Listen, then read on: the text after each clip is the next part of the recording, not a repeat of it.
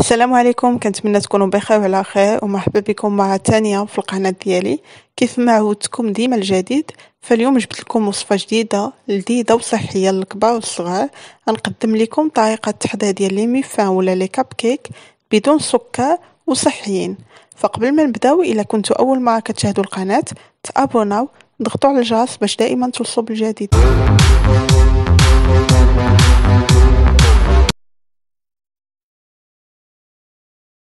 فكنبداو على بركة الله. كنحتاجو ربعة ديال البنانات يكونوا طيبين مزيان. خاص يكونوا طيبين باش ما كيعطيوناش داك المذاق ديال النشا في الكيك.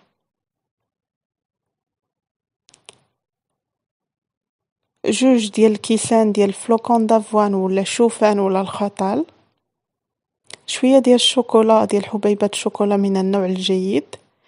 جوج بيضات. معلقة صغيرة ديال البيكربونات ديال الصودا.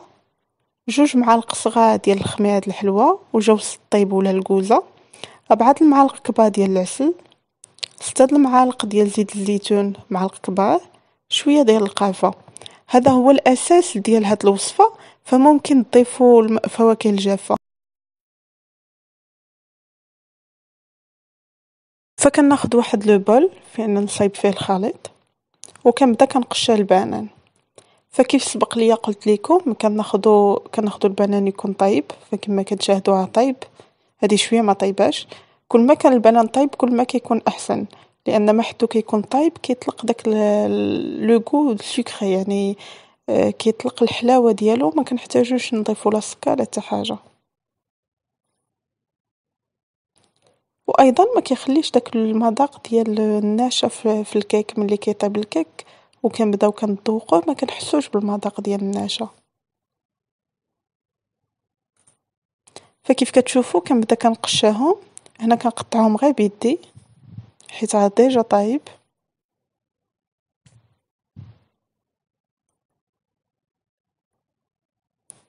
فكنبقاو هكا حتى كنكملو الكمية كاملة اللي عندنا د البنان.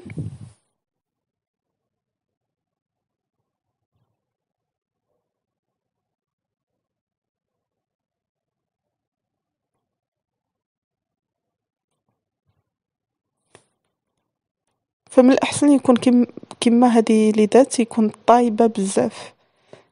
كل ما كيكون طايب بزاف كل ما كيكون ألذ وأحسن.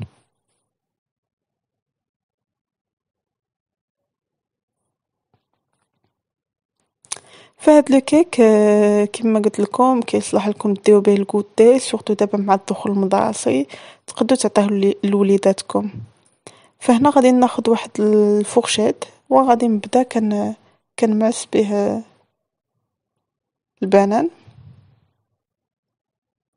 بالنسبة للناس اللي عندهم ديك الآلة ديال ديال البطاطا باش كيتصايبوا لا بيغي ممكن أنكم تستخدموها فكنبداو كنمعسوها شوية بشوية كيف ما كتشاهدوا آه، اللي كيكون طايبة كيتمعس معانا دغيا.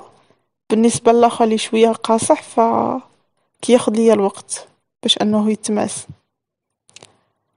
نصيحة لي نعطيكم ما تحاولوش أنكم تطحنوه في الطحانة الكهربائية لأن إلا طحنتوه في الطحانة الكهربائية كيتمياه وكيجي جاري. فكنبقاو كنمعسو هكا باليد حتى كن حتى كيتمعس كامل وكيبقاو des des morceaux ماشي مشكل. تيبقاو des petits morceaux ماشي مشكل.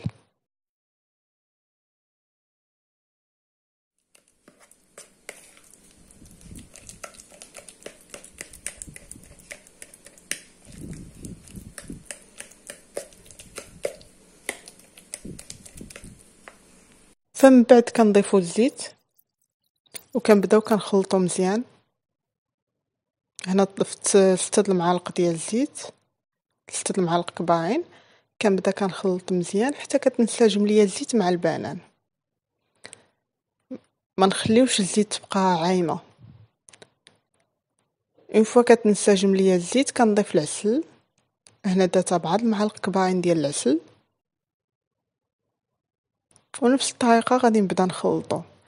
آه، بالنسبة للزيت أنا استعملت زيت الزيتون تقدروا تستعملوا إلا كانت عندكم آه، متوفرة في البيت زيت الكوكو ولا زيت اللوز ممكن تستخدموها تكون أحسن.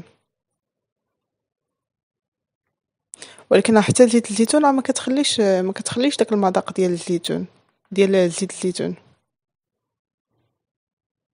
من بعد هنا غادي نضيف البيض. فكنضيف وحدة بوحدة. وكنضيفها directement مع الخليط يعني ماشي كنطربهم كنطرب البيض بوحدو عاد كنضيفو كنضيفو نيشان مع الخليط.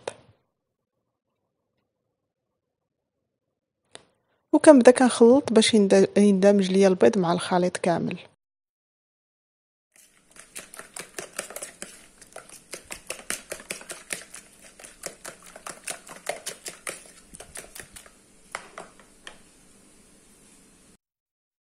فهنا بالنسبة لي فلوكون دافوان ولا الشوفان ولا الخطال قبل ما كنستعملوهم خصنا نطحنوهم.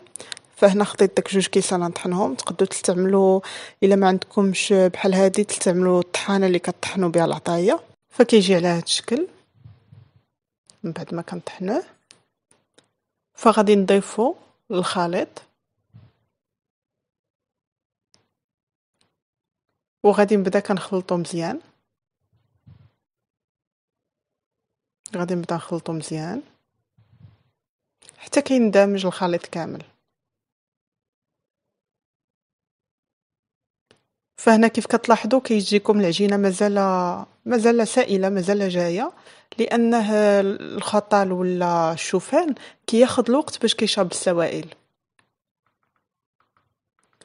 فهنا نبدا نضيف الشوكولا ولا حبيبات الشوكولا.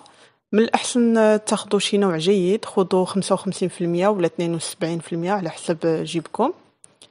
وكنضيف فواكه جافة اللي قلت لكم اختياري. أنا هنا ضفت الزبيب. كنبقى عندي شوية ديال الزبيب. وغادي نضيف حتى شوية ديال اللوز اللي كان شاط لي وصفة أخرى فكنضيفو حتى هو. اللوز شوية مهامش. إلا كان عندكم اللوز بقشور تقدروا غير تقطعوه وتضيفوه بقشورو ماشي مشكل.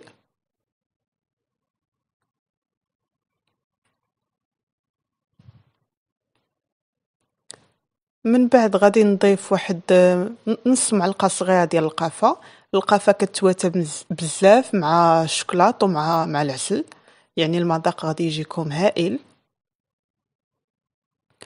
ودابا غادي ناخد شوية ديال ال muscade ولا جوز الطيب ولا الكوزة. غادي نحك غير شي شوية. فحتى هي كتعطينا واحد le goût اللي هو زوين بزاف.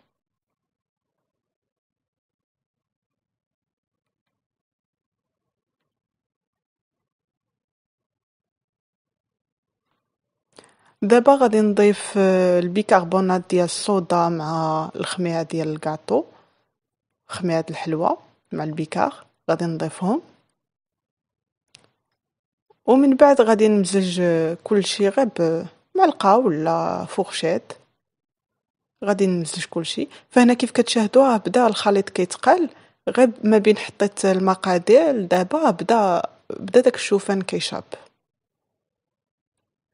فهنا تقدروا تضيفوا أي نوع ديال الفواكه الجافة اللي بغيتو. تقدروا تضيفوا التمر الشريحة إلا كانت عندكم آه، الكركاع ال pistache الكاجو. المهم تفننوا كما بغيتو وزيدوا الإضافات اللي عندكم متوفرة في البيت. هنا أنا سخنت الفران من قبل وجدت لاطة ديال les muffins فكناخذ هاد المعلقة ديال la glace هي باش كنعبى بها فكندير معلقة في في ال caissettes معلقة في الوحدة. فهاد المقدار اللي درت كيخرجوا لنا 18 الكاب كيك.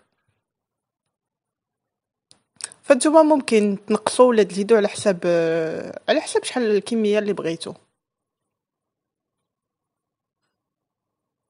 بالنسبة اللي ما عندهمش هاد اللاطه ديال لي ميفان آه، فممكن غير يضبلوا الكاغيط ويديروهم في الفران يطيبوا فكنبقاو مستمرين هكا. واللي ما عندوش هاد هاد المغرفة ديال الكلاص فكيدير عينو ميزانو. المهم هاد الكمية كتعطيكم 18 الا درتو نص الكمية تعطيكم 9 فباش تعرفوا شحال شحال تعمروهم. فمن بعد كنبقاو مستمرين حتى كنعمرو كاع الكمية كاملة. وغادي نحطهم يطيبوا. كيف ما قلت لكم الفران ديجا سخون خصو يكون الفران سخون وكنحطوهم يطيبوا. بالنسبة للاطانه ما نحشيهاش هكا نطيبهم غير في الفران ديال الغاز. فما غاديش نحشيها هكا غادي نداشي قصديها من التحت. وغادي نوريكم الشكل ديالهم كيفاش كيجي. فهذا هو الشكل النهائي كيف كيجي. كيجيو محمرين مزيان. كيف كيف على برا كيف الداخل أنا هنا من بعد حيدت الكويرطات وفضلت أنني نبريزونطيهم هكا كيجيو حلوين. فغادي نوريكم نقطع لكم وحده وتشوفوا الداخل كي كيفاش كيجي. فكيجيو محمرين حتى من الداخل ولذاذين ومفشفشين ومقومين. فهذه فكره تقدروا تعطيوها لولادكم surtout دابا الدخول المدرسي حسن ما تعطيوهم السقاطة. فكنتمنى أن الوصفة اليوم تكون نالت إعجابكم. نقول لكم نهاركم مبروك ونتلاقاو في وصفة جديدة إن شاء الله.